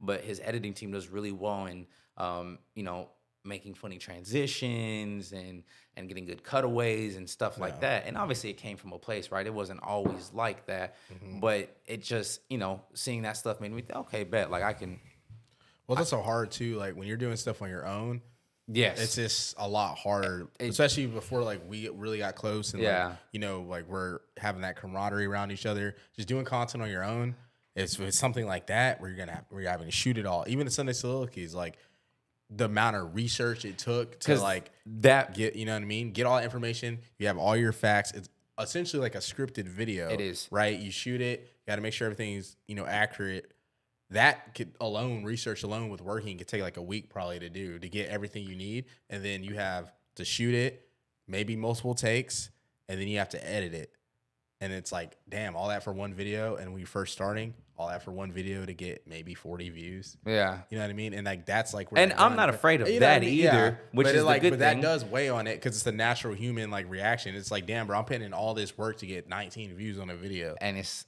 You know? what do you you know you're like what do you you know I'm saying? Where do you go from there? So I put together that uh that albums of the year for 2020 right? The top 10 albums I think you should be listening to and that was one of my Sunday soliloquies. That video is like 50 55 minutes an hour. Um but if you look at the editing in that video that's probably personally that's my favorite video in terms of uh, amount of work I put in because the amount of research I did, like actual research, sitting down and listening to albums, uh, taking notations of cadences, production, who was on the production, the songwriters, the lyrics, um, you know, uh, the background information, watching interviews about the album, any marketing, any material rollout. Like, it was a lot of time, love, and effort like put into that. So that whole process of making that video was fun, but it was also something that weighed on me for a while because it took time, right? Your storytelling, and when you're telling a story, um, or something like that that consists of research, you have to, have to, have to, have to, uh, like purposefully, obviously plot it out and be calculated with your moves. Another one of my favorite YouTubers I watch, somebody drastically different from Berleezy, is Trap Lore Ross. He covers a lot of hip hop stories, right? Um, and his videos are like, I'm talking about, he'll spend like two to three months Crazy. And the video will be like 30 minutes, but it's like you'll get a whole story It- breakdown, all these clues, like that ass, like the FBI. It's so informational, and there's so many things on that video that you're just knowing. That editing team, it took them a grip just from the research part, and then going over to recording it, and then the actual editing of it. You understand why these things take, and then some of them are like two to two and a half to three hours. Mm-hmm. So you're thinking, you made a movie. You legit made a freaking documentary on this situation. So like two of his biggest videos are like three hours, two and a half hours. Um, and he's covering like situations that have happened uh, in the hip hop community, and it's like you're like, bro, you you you might as well be goddamn Marvel Studios. You just put together a, you know what I'm saying? This is a Discovery Channel documentary, right? You're giving me the facts. You're giving me the cutaways, the actual videos, the news clips, the web. Like you're doing all this. So it's it's cool because it's like I know that took a lot of time, which isn't a bad thing because you got to respect them for the amount of work they put in. Especially being a content creator and seeing that, you're like, oh, I already know for somebody like you, now they can afford teams and stuff like that to work. But you're just knowing, even so, as an individual, that's a lot of work. That is a lot of work. Uh, so you know, to bring it all back around, the struggle was with finding something for me that stuck, right? To your point, I switched up because I didn't know myself. I didn't know my identity in content creation, to be transparent with you. And I felt like what I was doing, um, it wasn't sticking for me. Something was still missing. There was something that was kind of uh, like the missing ingredient, so to speak, right? So as we've been doing Keep It a Buck, and I'm beginning to kind of figure more and more of that out and kind of understand more and more of myself, you know, Cam, funny enough, introduced me to this. Uh, you know, and you guys actually had uh the gentleman on here, uh, John. Yeah, John, who Yeah. did the who did it, but the seventy five hard challenge, right? Um, and it's a big like mental aptitude challenge. To essentially, um, make yourself uncomfortable, but the point of it is to again find out a lot more about who you are and challenge a lot of your natural tendencies and ways you've fallen into. So, you know, Cam put me on it. And as I started doing more research into it and listening to the podcast, and I have the book coming in here this week, um, and just reading information on it, like the biggest thing I'm taking away for it is I can combine this with other aspects of my life to like reset myself essentially. Not rely too much on things that really don't matter, but now sit here and take the time to decompress, right? Get off social media for 75 days and just put that stuff down completely. Focus on content creation and more so sticking to myself, you know, instead of getting on my phone and getting on an Instagram or Twitter or checking Snapchat or something like that. I can look at other resources that can help me in my content creation and me plotting and marketing, reading a book, doing something um, to where, again, I don't believe social media is evil by any means in the sense, and I'm not against it. Um, I'm, I'm a big user of it, and I know what it does for not only a brand but for an individual and for the marketing purposes. No, I, I get it, right? But I think you know a lot of the times it, it gets too consumable to where now it's like smelling too many colognes and perfumes and a Dillard's. You got to smell the coffee bean to like, oh, okay, cool, yeah, I'm back to reality now. My my noses aren't clogged, right? So Yeah. that's you know to that point. It's nice. Yeah, it's, you. It's, so you it's you took that to you took that to an extreme. facts. But You- when, For sure. when you first start, been MIA. when you first start, like you're, it's gonna be natural. Like let me go to it, let me go to it, let me go to it. But like after a while, you just gotta forget about it. So that's you know what I mean, and and like I said, the plan is to get back right because again, obviously the content has to go there, and I'm still going to be producing content. Um, but the point of that is while I'm dealing with that, I'm to be putting together a project for it, like documenting my experience and what I felt and why I'm doing it and stuff like that. And something like that makes me excited because it's really intentional. I feel like I'm showing people what it consists of for me, being transparent and putting something out there that like people are gonna look at it and be like, oh shit it's gonna be raw. It's gonna be real. It's gonna cover everything, right? So the meetings when I still come over here, my day to day life, going to mm-hmm. work, going to work out, covering like some of the hardest moments, some of the good moments, getting some of my honest thoughts. Like it's it's it's gonna be a documentary, right? But to do that, I know I need to be intentional with that, and I need to fully commit myself to it. And at the same time, I need to take it as serious as I want to take the content, right? I can't get on here and start bullshitting with y'all. Excuse my language, but I can't because can say Nah, whatever that's yeah. that look that's Not just a re- that's just a reflection on on on me right if I, I can't i can't step up to the plate and let y'all down right i can't step up to the plate and let the people around me down right um, i can't step up to the plate and let myself down but it, to me, again, to that point, driving all the way back, it's it comes to y'all because I don't I don't want to let y'all down, right? I don't want to let the people who have really like really supported me in this and really stuck with me and kind of stuck together with my bullshit and and kept continue to push me. I, there's no way in hell I can let y'all down. But the good thing about that is it keeps me accountable to figure my stuff out. So when I engage into something like 75 hard and I'm and and you know I'm I'm reading and I'm changing up my diet and I'm changing up my lifestyle and I'm taking myself and putting myself in an uncomfortable position, but it's forcing me to grow. I feel like naturally I'm gonna be able to overcome a lot of the stuff I feel like I'm dealing with and get to the bottom of a lot of things. And then at the end of that, it's gonna make me. That's I mean that's what the point is, right? Which it's putting myself in an uncomfortable position, but that that's what growth is right? We had to put ourselves in some uncomfortable positions to get to where we want to be and, and where we're at, you know, through whatever phase in life, whether it be lifestyle, whether it be, you know, your financial, your financial health, or your health in life, whether it be uh, your physical health, whether it be, uh, you know, obviously creating content and putting yourself as a brand. A lot of people, you know, try to find themselves and a lot of, a lot of things have to figure themselves out. Uh, but if you don't put yourself out there and put yourself in an uncomfortable position to do so and force yourself, um, you're kind of just gonna ride the wave of complacency, and then time's gonna pass, and before you know it, you're gonna be living um, in this place of what ifs and kind of be victimized. And the last thing I refuse to do is really is to be a victim. Um, so I, like I said, I I want to I want to challenge myself and I want to keep myself accountable. Uh, and hopefully with that, you know, I plan on starting it right before the year ends. Um, and then it should end right before my birthday. So again, I'm hoping to kind of embrace that challenge that and challenge myself going into a new year to see where my mind can take me. And then once I get out of that, what I can do. And like I said, throughout that, I'm still, you know, I'm saying it allows me to focus a lot off of myself and give more towards opinionated, right? Can I can I put clips out? Can I edit? Can I jump in and help somebody else if help is needed? Can I do something for the brand if the brand is needed? Can I step up and be a team player? I don't want the attention to be on me, right? I want to just do what I need to do for everybody else, and I'm a, I'm a firm believer of you know doing work regardless of if there's light, right? The integrity, doing what needs to be done, and that everything that's supposed to come is gonna come in the when it's supposed to.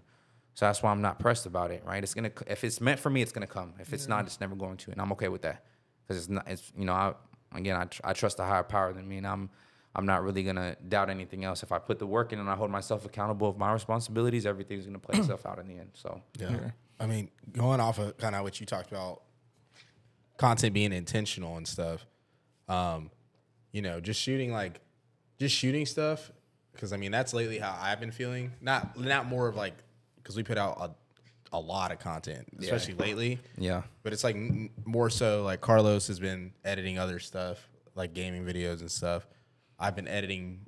I've been doing some special projects for opinionated, like on my own, just to take like my creative energy somewhere else. 'Cause Yeah. Essentially, when you're doing like research or reactions or even with us doing like 54 yards or sports shows, like don't get me wrong, we love it. It's fun. The conversations are good. The you know the content's good. You get Absolutely. factual news out, but at the same time, you're not really pushing yourself creatively. Like you're not being like, okay, let, like I have this idea. Like, how am I gonna get this idea out? The storytelling, things like that. Yeah. and then even like the editing too. Like the editing is so monotonous with like a podcast or a sports show or whatever we're doing. Ye- it's Oh, just it not. do so much. Yeah, That's so- you know what I mean. that's it doesn't what- help you like grow really. that's like where music. You think about the concept of an album, right? An album is its own album or mixtape. It's its own independent being. Yeah. and it's it, it's uh, the only correlation with it is the artist that's put it out.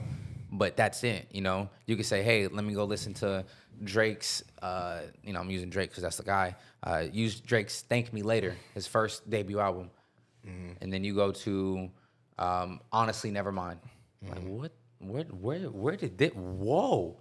But they're two separate entities that come with two Yeah. different. It doesn't feel like a. To your point, a Plus, you're so seasonal. Like a person is so seasonal. Um, just on the recap last night with CJ, like he was talking about like seasonal depression and stuff. Yeah. like you know, it gets colder, it gets darker quicker. I mean, lately it's been raining a lot. I walk outside. It's two a.m. and, and cold. I'm You know, like, I ah. and all I feel like all that stuff is very like goes back into like your content creation, goes back into your like your life as a person, your being as a person. For example, Carlos just takes his whole year off from social media, and he takes a lot of time to himself to decompress. He just went through a big seasonal change in his life, and now he's entering a new season in wherever that's going to take him.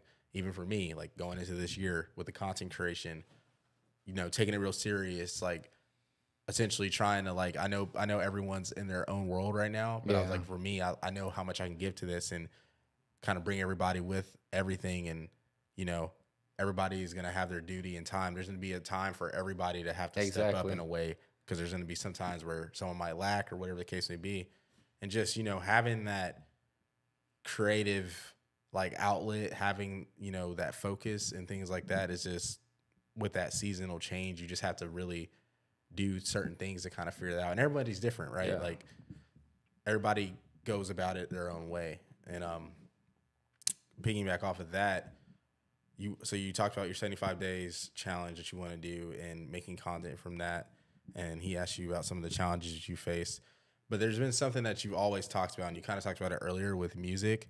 Um, and my boy Cayman's back now. He's uh he makes music and things like that. Yeah, and you were working KO. with uh Leo Tucker Yeah, Trey shout out- yeah, yeah yeah That boy Zodiac. yeah man. you're working That's with Trey guy. and uh, He RSVP makes music? Zodiac. You didn't know that? yeah No. Trey had- I haven't heard, wait, Trey I haven't heard. First of all, I just haven't heard that name in ages. Trey Tucker. Shout out Yeah. my boy Zodiac. We Yeah, went to Parkcrest. Yeah, with yeah, him. yeah, yeah. literally. Wow. He does gameplay and he does music. yeah me and him are cold Zodiac back in the Gaming? Zodiac game and Zodiac in general. He has Oh, two Zodiac. projects out now on Apple Music. I, That's dope.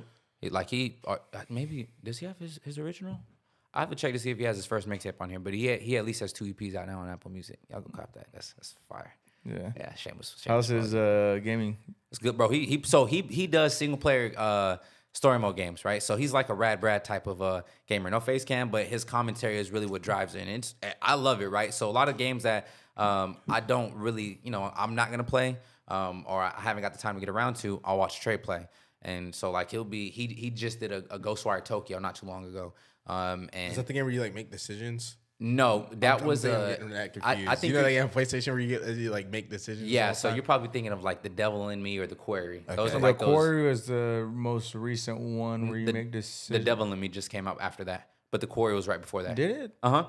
The Quarry was made. You're by, right. You're right. You're The right. Quarry was right. made by the same people Yeah, that made yeah, Heavy yeah, yeah. Rain, or Yeah. not Heavy Rain. Um, uh, Until Dawn, Uh-huh. and then the the Devil in Me was made by uh uh Madon Productions. They made other like games similar to that. Yeah. Um, With Corey and me, I know for sure that you pick like what's gonna happen. Mm-hmm. Yeah, for your character and everything. Like, yeah. So uh, he does those single player like story driven games for the most part.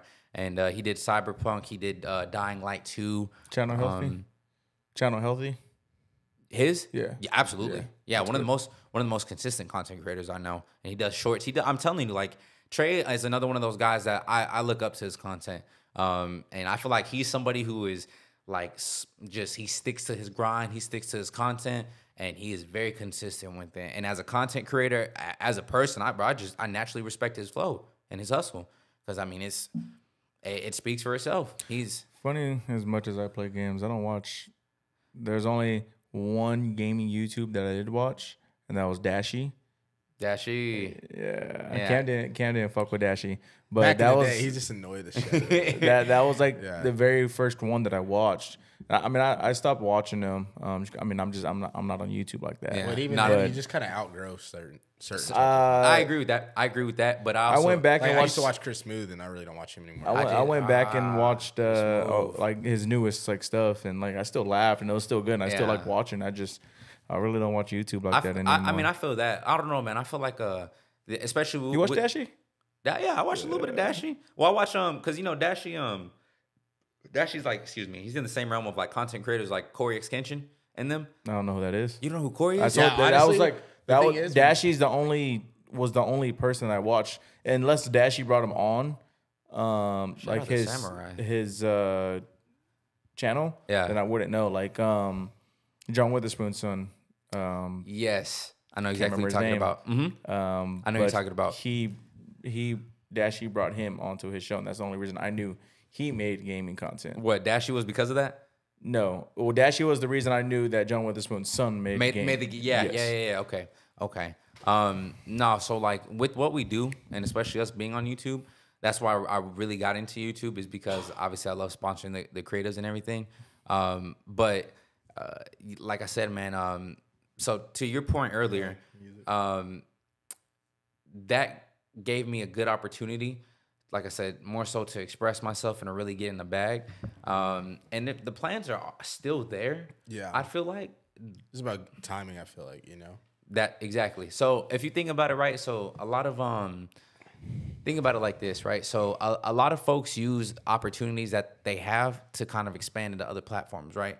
Uh, one of the best examples recently we've talked about him a lot is Kenny, right? Kenny Vaccaro, and how he took you know his playing career and is now elevated into the collective in G one, and the transition was so flawlessly. But without football and that career, I don't think he would have been able to do Yeah, that. you have to have some kind of. I mean, something. I mean, and that you have to have something to like essentially do more things. Exactly. And for us, like even having a podcast, and I was telling CJ, like it, like us as being strictly a podcast. yeah. Since we're not popular and now that podcast is like the trendy thing to do when you're already popular like oh let's go start a podcast because i'm already famous Yeah. my audience is going to watch me talk Yeah. right but for us like we could have whoever on but nobody knows me and carlos for doing anything Yeah, you know what I mean? outside of this Yeah. so it's always like like you said you, it's it's about trying to build something in another realm to you know Allow carry over to- to more of the easier realms even carlos like when, he, when it comes to streaming he talks about all the time like i want to stream but like I'd rather be able to do it when we have this following from PNA, and I can just be like, yeah, I'm gonna play the game stream, like come and watch. me," Exactly. You know? So like for me, I'm. I told you, bro. I'm. The reason the music has been on the back burner, don't get me wrong, I'll, I'll spit a mean sixteen anytime, anywhere you throw on a beat. I look, look, look, look. That's besides the point. Um, at J Cole has a really cool bar. He says, you know, what, what's the point of, you know, having all this if if your people don't have it, right? Um, there's there's no there's never been a point to me to where I feel like I have to have success and it has to be a solo thing, or it even has to be a selfish thing, or it even has to be a me thing or a now thing, right? And I feel like that's a lot of a lot of what comes naturally with growing as a platform in what you do, whatever you do. Even if you don't make content creation, even in your job, right? You have to naturally think like growing wise, you're not you're not necessarily growing um, to go jump to the immediate top without a little bit of work and a little bit of investment. A lot of the time, it takes a minute of putting the work in naturally for it to come to you. So, in that same instance, when it comes to the brand, I want my work to be done for others, right? I'm a servant, right? Mm-hmm. I'm here because of y'all. So, the work is due for y'all. And within that, it's a biblical thing too. Within doing work for others, you find more so of who you are, right? So within helping y'all, within doing what needs to be done for opinionated, within growing this, maybe I find myself and then I'm able to really dive into content creation on a personal level. Um, and I don't mean like just putting content out in general, no, but more or less like what really sticks with me, right? So once we get opinionated to the spot where we're in the studio, we've built our brand and we have the resources now, right? And everything is there for us.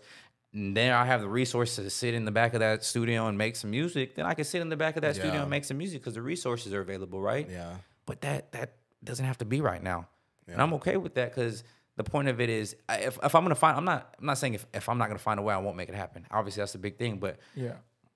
i'm gonna make it happen. I'm gonna find a way but i'm gonna take care of those around me and invest into what's going on around mm-hmm. me and to those i love and care about because within that i truly feel like i'll find a lot more of myself. I'll eventually it's gonna come. Mm-hmm. I just need to take care of what, like I said, what of my responsibilities are now to let it all come together. And then in that process, like I said, it'll it, it'll all come together. Mm-hmm. And I don't have a problem doing that because again, I don't I don't feel like it's necessarily about one person, one thing, one place. When it's it's the bigger picture. So it's all about laying down the foundation. that's it, and just building on that. Yeah. Well, getting towards the end of this, wrapping it up, but there's some a question I've always been curious about. Who are your biggest inspirations? And then I want I'm gonna ask you some more stuff after that. But go, go jump it off. With that. Uh, biggest inspirations, uh, God first and foremost, right? I mean, I'm that's that's not even like a It's not even a debate. Oh, bro, legit. Like that's where I get like that's why I'm breathing, right? You know, I'm I'm blessed to be in this position, and I, I take that seriously. So every day I just try to be grateful for that, right? And I try to remember why I was uh, put here on this earth, and that's right to be a servant. That's to enjoy this moment, right? That's to breathe life and really, you know, to love. So um, obviously, like God is my biggest inspiration. Aside from that, I gotta I gotta give my parents um, their credit for everything they've done in my life and everything they've done as individuals. Um, I, it starts with them, obviously, right? So uh, your people are always to be. Uh, I feel like for me personally, my, my people were the people that really like breathed life into me, right? They really gave me a lot of who I was and really helped mold me into the person I am now. Um, so without them, I wouldn't even be here. Uh, and what what they've done for my life. I, like I said, I, I'm I'm just nothing less than gracious. A lot of my family naturally takes the inspiration spot. Um, I want to say people like my grandma, my grandpa, my auntie, my uncle, a lot of them, man, they really, really, really, really held it down. Um, and it's just a lot of what they've given me. And that's more sentimental than it is anything else, right? Um, aside from that, obviously, people like Kobe Bryant um, and his work mentality. Uh, that's always been something I've always just adored because again, it's Kobe, right? You always gonna get the job done, but you know, there's no point in celebrating until the job's finished. So uh, it's Yeah, so why are you smiling? Job ain't done. you know what I'm What's saying? there to smile about? Kobe, For you- sure. Kobe, you're up 2-0 in the finals. Uh, is there, is there a reason you- you're not smiling or anything? You know, Job's not done. you know what I mean. All right, Peter, my man. Um, so, um, Kobe, and then again another RP, Nipsey Hussle. Uh, Nip had this real like long term mentality, right? He had this real the marathon, and that's what life is essentially, right? You know, we're not guaranteed another day, but at the same time, everything is day by day. So in in this thing we call life, and in everything we do, we have to you know take our time to be present, be in every moment. Don't give up, don't falter, don't fall off. We have to be present and we have to give everything we got. So the idea of the marathon and just what he did as a leader for his community, uh, what he gave back to his people was, like I said, it's Priceless. Yeah, exactly, exactly. So um, just off top, like I said, those are probably some of the ones that come closer to heart. Uh, and like I said, you know, goes into some of my idols. You know, shout out, like I said, some of the guys I mentioned, other YouTube wise, uh, Berleezy, RDC World, obviously, uh, the Amp guys. Um, you know, Drake, obviously. Th- those just more so in the creative aspect. Yeah. People, I respect their hustle and their flow, right, and what they've done and what they've put out. Um, and I take a lot of, again, a lot of good stuff from that, and you know, just be a student in the game and learn. What are some of your goals for OPM and just you know just trying to take the you know the collective or group we're, we're building movement to the next level? Like anything special you want to accomplish next year? Any big projects besides the ones you said earlier? Um, 75 days hard, I feel like will be a good start to understanding a lot more of that for myself personally. But in that moment too, it gives me a lot of more focus to spend on the team and on the, on, you know, just on us. Um, so I want to, I want to commit myself to being a lot more um, selfless. I don't feel like I'm selfish, but I would rather see what I can do uh, when it comes to marketing. All right, when it comes to establishing our namesake, when it comes to putting our stuff out, whatever that looks like for us to grow our brand. Yeah. Um, I just want to be a team player, right? And I want to Yeah. put myself out there. So that's more so kind of my goal is just to be um, kind of a, a plug and play piece, right? Wherever you guys need me, I'm there. Whatever needs to be done gets done. Uh, and there's not a reason and not an excuse we can't be great, right? Yeah. I mean, kind of just keep us accountable. Um, I can't be here without y'all, and y'all have built this strictly off the backs of accountability, right? Between the two y'all and Bert, and then now bringing it to what it is with everybody that's here. I mean, it's simply just through accountability that we're here, right? So that's more or less it's. No, it's cool for Hey, real. you know what I to mean? see that like us getting the team and then like obviously the bigger we're gonna grow the more help we're gonna need the more hands we're gonna need we're gonna find other creators that hopefully we'll be able to put them on and bless and change their lives You got, you got to think about it, right? We're essentially we're gonna get to a point, and I think in size, essentially because of what we all represent, we are. But I mean, we're gonna get to a point naturally to where we, you know, we're we're the we're the same production teams putting out, you know, the content that everybody's watching, right? We're putting out Exactly. OpTic style documentaries. Yeah. We're putting out um, you know, discussion. Like we're putting out like, prof- I mean, I think we already put out professional content. To be honest with you, Mm-hmm. um, I don't think there's really too much that separates us from a lot of people, other than the fact we're probably just under the radar, so to speak. Yeah. But that doesn't take it away from the quality, right? So I can't wait to see, with everything that comes together, what can what can show for it, right? Yeah. Uh, but like I said, that's just more so of the investment. So I just, like I said, I think my biggest goal is uh, being a plug and play and using that, like I said, for the group, and then getting out of 75 hard, seeing how I can carry that over and use that momentum naturally to, uh, you know, just uh, just to sit in myself, um, get a better understanding of myself, keep myself accountable, and really keep moving, seeing how I can grow as an individual too. and um shit i that's really it um for me um anything for you No, I mean, what question before I hit this thing off, you got anything for us? Where were y'all on the night of? No, I'm kidding. Um, uh, man, I let me just give y'all's y'all's flowers right as we get to the end um, of this year and kind of everything I've done right. I, I think a lot of what y'all do again naturally goes uncredited. I think y'all have provided a lot of opportunities uh, just for the people in the group. But I think what y'all don't realize is because of some thoughts you guys originally set probably like three or four years ago. Some things y'all chatted between y'all when y'all were in college and you were out of state, and some ideas you floated has now turned into this, right? And through that four years ago, you're here in this position now. So if you think about the conversations y'all have had in those circumstances and what consistent application has done and where we sit at now having this conversation, you have to sit here and seriously give you guys like give yourself some credit. Like I know you guys work your asses off and you do this content thing and you guys are really like gung ho and you guys are always consistent and you guys are always putting everybody else first. But seriously, take the time to appreciate yourselves and what y'all have built because that shit is crazy. There's not a lot of people that can naturally put up with a lot of what y'all have. And I think, I don't think, I, I'm not saying nobody doesn't give you guys the appreciation and the love and the respect you deserve, but I don't know naturally if you guys do that enough for yourselves because of everything y'all done. So take the time, whenever it may be, to truly acknowledge and appreciate what you guys have given to this brand and what you guys have done not only for yourselves, but for the people around y'all and who y'all have brought together. Cause that's that's that's crazy, bro. That shit don't make no sense at all. You know what I mean? And and yet by some miracle means we are all sitting here having meetings, talking, having discussions. You know what I mean? No, for real. It goes back to the meetings that we had in the summer. Um, you know, us kind of that was kind of the foundational pieces of stuff. And even now, like, you know, talking to Bash and Key and maybe getting them more involved and, you know, just trying to figure out other ways to kind of really bring that collective Yeah. like one one whole thing. And even, you know, shout out to the accountability text that we do on Mondays. Like every Monday I look forward to seeing what everybody has planned for the week. Absolutely. Goal wise, personal, content related or whatever. And it's just cool to have those check-ins and reflections. Not to make it more of like I have to do these things, but Yeah. kind of, you know, put it out there, put it in front of you. I was talking to Carlos and CJ about us getting more concrete and intentional what we're doing instead of just, you know, getting in the flow of things, putting out content. Okay, we got to put out content to grow, whatever. Yeah, But it's I- like it's and- year four. It's like now we need to put out content that's meaningful and purposeful and that's gonna actually like be beneficial to the brand and helping and us grow That's that's what it stands and about.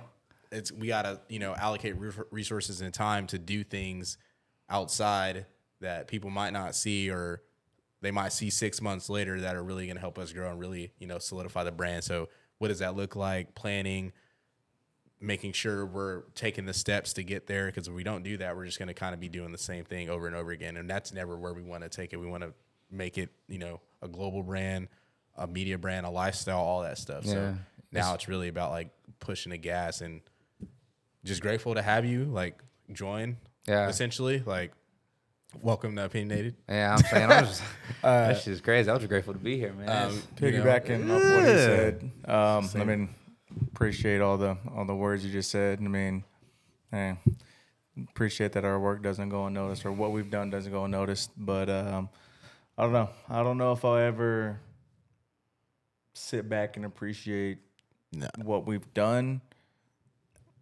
It probably until this is what we're doing. Yeah. Yeah. It'll be one of those days where we're sitting in the studio, pull up. I pull up maybe at 9.05. Carl's might have been there at 7 or something. yeah, I pull up, just sit down, and you just look up or you look at the computer or whatever you're doing. You're like, You're like, damn, bro, I really, I really do this Random, every it's a single day." random, random Every, it's gonna be a random ass day. Yeah. You'll be like, I really do this. The every one day. time, one time that it will hit me, um, I think just more off emotionally is at the end of this lease. Um, just because Yeah. when all this will just kind of go away. Uh, not like go away, but like the, yeah, like the first like the- OG this is- set yeah. location. Yeah. Like, Yeah. Because it's either going to be we have somewhere to shoot that's a studio, or we're going to have to shoot it at someone's house or apartment or whatever until Yeah. we figure out what the studio is going to look like or whatever. exactly. So it's going to be, you know, It's weird, right? it's OG. It's OG. Yeah. Like, I mean, this is the first, we've had some b- big ass names in here, especially. we made a lot of memories here. Yeah, of you guys have done a lot of crazy. So we all have, man. when and you probably guys have, when the last day we're here is when we're walking out. Just Like taking everything down. Yeah, That's gonna be yeah, and as it as it rightfully is, you know. I mean, it, it's they, they say it's the closing of one chapter and the beginning of another, but really is it's the advancement onto the next stage of what life is supposed to bring you, what this what this group is supposed to bring y'all. Um, and like I said, that that's just gonna mean again, you know, we we maybe we go into a house now, right? And we're in a we're in an actual house and we're shooting this, and then that house turns into actual studio. So now, you know, there's an opinionated studio in Austin, Texas, and this is where we're running the content out of, right? Um, and and it just grows and it grows and it grows. Um, and that that's the point of it, right? You know, I, I'm sure y'all have experienced a lot of uncomfortable moments. I'm I'm sure it's tough as hell to be the shooting location, right? The mutual spot for everybody, right? And then you guys are also the host, A lot right? of you- foot traffic. You know what I'm saying? You guys naturally facilitate a lot of things in here. Even before we were like really shooting a lot like that, like we had poker nights here. Like we always were. We've always been like the spot. You know what I mean? So there's a reason they call this, you know, this it is HQ because it's that's where everything happens at. It's where everything, you know, goes down at. So who's to say that next year isn't something crazy or bigger, right? Following will year, be. who's you know what I mean? Yeah, and all, all, all, all it takes is literally the right conversation with somebody. Exactly. They might be like, "Damn, like I like what you're doing. It might help you out." Or it takes the right video blowing up and you're popping and you're on. That's You all it what I mean? takes. And all it takes is one moment. And we live in a viral society, so all somebody has to do is just see one clip, see one thing, hear one piece, hear hear something, see something, feel something, touch something, right? Whatever it may be, right? They just experience it and they're like, yeah. And then that experience gets passed on and so forth and everything. So, you know, keep keep grinding. You know, we that that's you know everything that you guys do is is crazy. And the fact we're here in this moment right now is like I said, it's it's nothing less of a blessing and a miracle. But there's only so much more to go and so much more we have to do. So.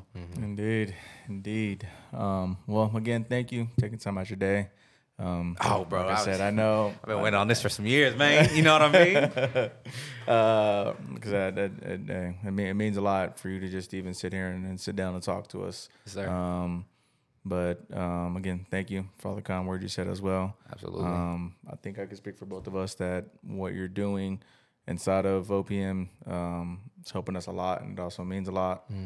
Because I mean, it, it was me, me, Albert, and Cam, and or Cam, Albert, and I, and I mean, our content was here, but and all of us here now is just going to the next Yeah, level. it, it's cool, man. Like, Yeah, it's for- a especially when we're all like flowing like that. Like we know, I know we can like that train. You know, like everything's one moving motion. You got you posting, us posting, PCT posting. Everybody's doing something. Like yesterday, like I was, it was super dope. Carlos was, even though it's all in house in here, Carlos is in there editing. We're out here learning the RødeCaster, learning how to, you know, put the sound bites on there, Yeah. learning how to use it. All of us, Alex is like looking up videos, and then he's like, "Oh, come!" He comes over here, he's showing me like what he's looking at. Yeah. I'm on the headset, like messing with it. Cats, you know, in my room making merch and like doing that type of stuff, doing like more of the operation stuff. So it's cool to like see like, because it's it's just like, damn, this is what it's gonna be. I mean, it, know, it visual- you know what I mean? It's, and it's it's just the early stages of it. And, Yeah. You know, I mean, it's a company you're building, right? And every- it's gonna take some time, but we're we're It's a lot in. of lot of growth. oh, that's it. That's that's It's- it. Hey, and, and growth ain't never hurt nobody, right? Scary and exciting. You rather be growing. sure. You rather be growing than regressing, right? Absolutely. You know what I Yeah. mean? So, look, man, we're in a position to where we can do what we can do, and we just got to keep doing it. So, Yes, sir. Yes, you know sir. what I mean? So, Um, but again, um, don't know how we get down. He's family. Aye Yo Roo everywhere. Aye Yo Roo everywhere. That's everywhere. It. Yeah, that's it. Everywhere. Just, just like that.